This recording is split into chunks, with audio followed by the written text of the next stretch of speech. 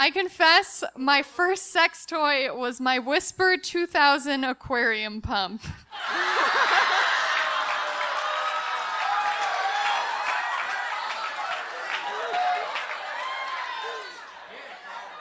I was 13, vibration works.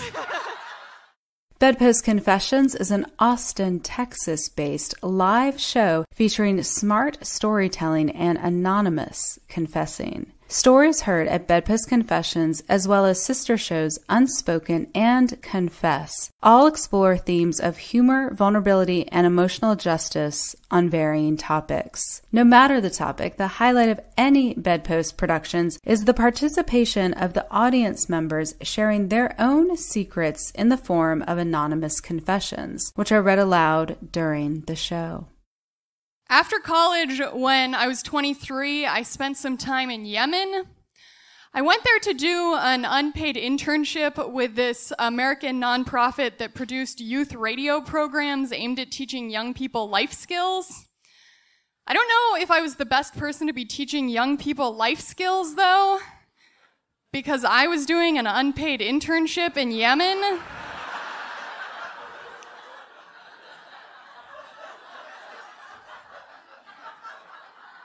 The economy when I graduated was so bad that I took a job that came with kidnapping insurance, but not health insurance. I met a lot of great people, though, uh, mostly expats. I hung out a lot with this American who lived down the street from me. I'd go over there. We watched all the Star Trek movies together for some reason. He worked at the consulate, and then Eventually, when I got back to the United States, at some point I realized that that guy was definitely in the CIA, which is a chapter in my life I now like to think of as the spy who made a concerted but not overly aggressive effort to shag me.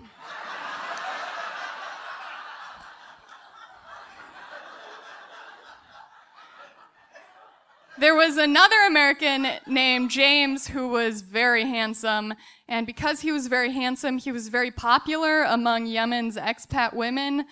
I had a huge crush on him. When I got to the country, he was having this on again, off again thing with an older Argentinian woman named Isabella, who was a doctor in Yemen's Doctors Without Borders AIDS program. And then he was ending some kind of romantic entanglement with another woman who was a human rights attorney. And then eventually, his real girlfriend flew to the country. And she was a beautiful British woman who was a journalist with The Economist. It was pretty hard to be jealous because, damn, that is a deep bench.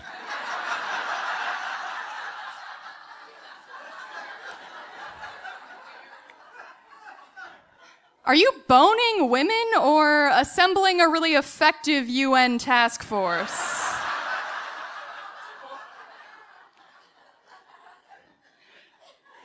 This guy was just out there trying to cast a Shonda Rhimes drama with his dick.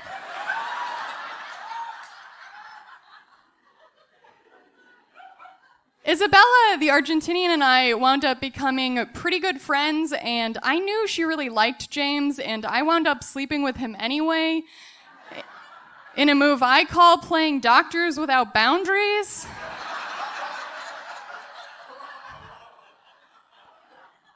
We decided to go visit James on this island where he was spending a holiday rock climbing. And the situation as we went out there was that I had slept with James and she had slept with James and I knew about the two of them, but she didn't know about the two of us and he didn't know if we knew about one another. Which is a great start to a small island vacation.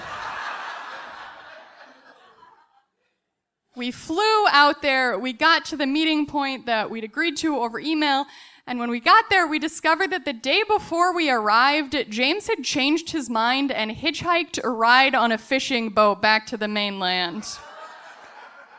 Now, this is not Cape Cod. This is less than 50 miles away from Somalia.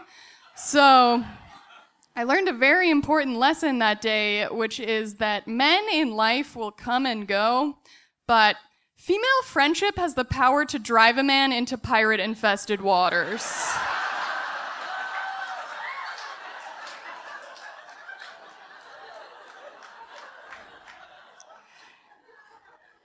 Isabella and I, we had a great time on the island. We saw a chameleon and bought frankincense and took pictures of desert rose trees, which are these amazing bulbous trees with tiny stubby little limbs. While we were on the island, on our last day, we were snorkeling on this beach and we discovered that the same day we were on the beach, the president of Yemen at the time and a bunch of his cabinet was visiting.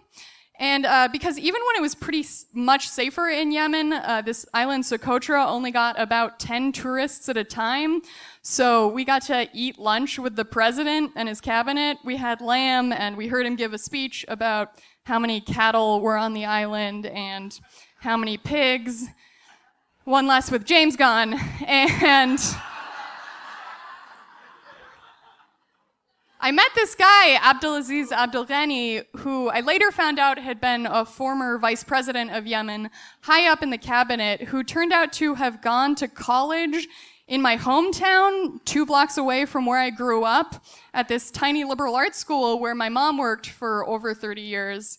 So Abdulghani and I traded information and I went back to the mainland, uh, still in Yemen, and a while later, I got a call inviting me to the palace. And I went. I always felt that I would do well in a palace. and most especially a palace not preceded by the word burger or China. Or in Austin, donut taco.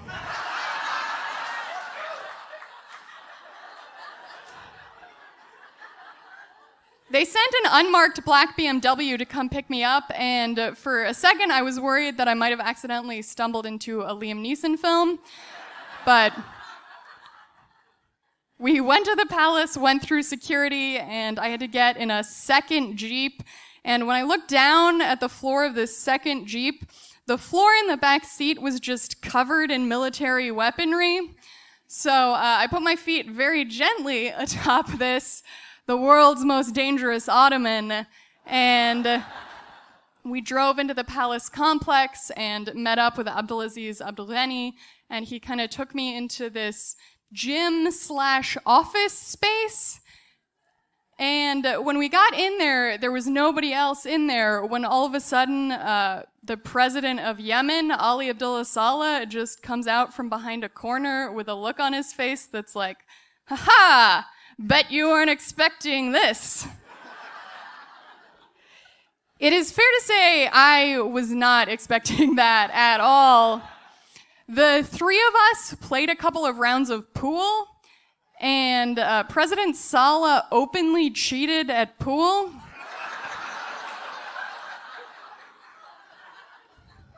Before every shot, he would push the cue ball to the most favorable spot on the table. And I still don't know if he just didn't know how to play pool or if he was just super used to pushing his balls around.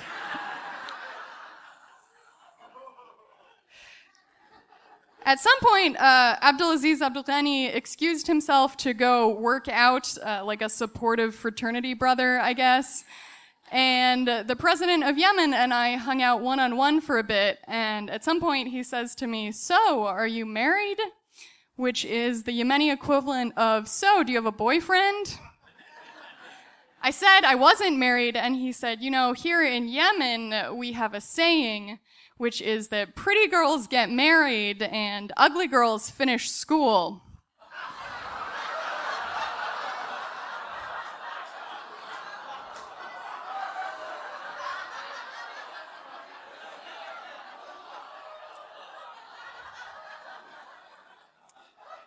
Some number of years later, I'm still not married, and now I have a master's degree.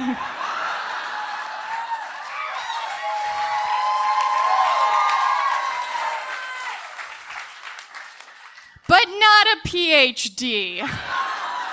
So I'll let you all judge the accuracy of that nugget of wisdom. I know I look fine. I guess I look like a cross between Uma Thurman and a wax statue of Uma Thurman.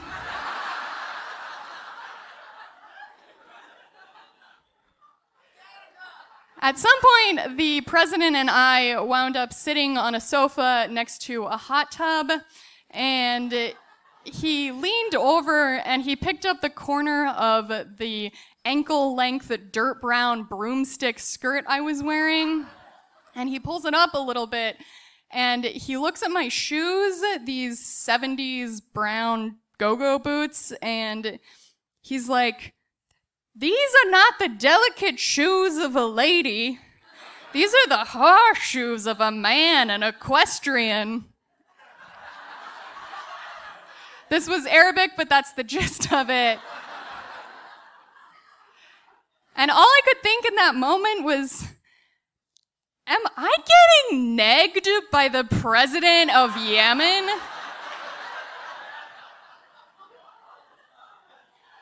So I smoothed my skirt back down over my lap and I straightened up and I said, that is the fashion in my country.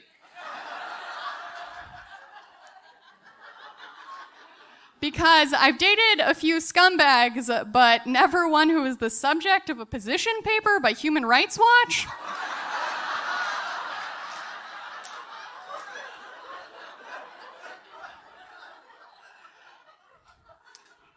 a little bit after that, an aide comes into the room where uh, we were sitting, and he just says, "All right, you will go now." So uh, I went. I left. And uh, now, every time a man sexually rejects me and I'm feeling bad about myself, I just remind myself that men who have wanted this have killed.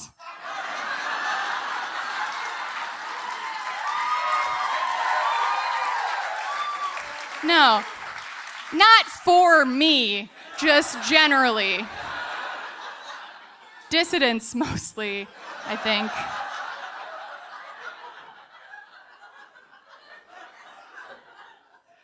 Honestly, I think the craziest part of this story is still the idea that I could have seduced a world leader while wearing a dirt brown broomstick skirt. Uh, I am making light of it now, but at the time it was a frightening experience. I felt like I had kind of brushed something really dangerous. I remember I went home that night and I ate an entire bag of sour raspberry candy and I bought like a bunch of really expensive phone cards and called my mom and I cried. It's fine though. This was uh, the middle of the Arab Spring, like uh, smack dab in the middle. I don't know, ladies, if you know what this is like, but uh, you know when you sexually reject a man and then you just see him start to lose control over the country where he's held a dictatorship for 33 years?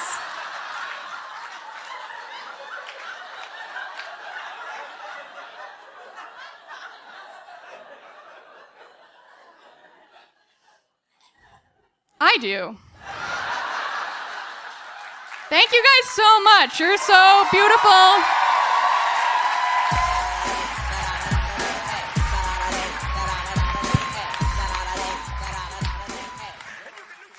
Bedpost Confessions is produced by Julie Gillis, Mia Martina, and Sadie Smythe. Audio production is by Ian Danskin. Confess with us at bedpostconfessions.com. Until next time, we will leave you with a few other confessions from the audience. I confess, my ex and I once had hot monkey sex in a Puerto Rican rainforest surrounded by thousands of tiny tree frogs shrieking, cookie, cookie.